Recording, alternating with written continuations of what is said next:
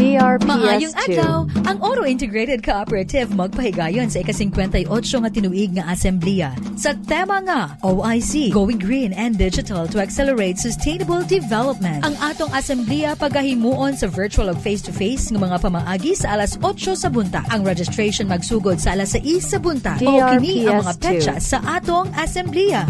Tagbilaran og Tubigon branches March 9, Bohol Wisdom School Gymnasium, Ubay Branch March 10, Poblacion Covered Court. Alang sa dugang impormasyon, bisitahi ang atong opisina o kontaka ang atong official Facebook page sa Oro Integrated Cooperative. Tara na sa OIC DRPS2. where financial freedom begins.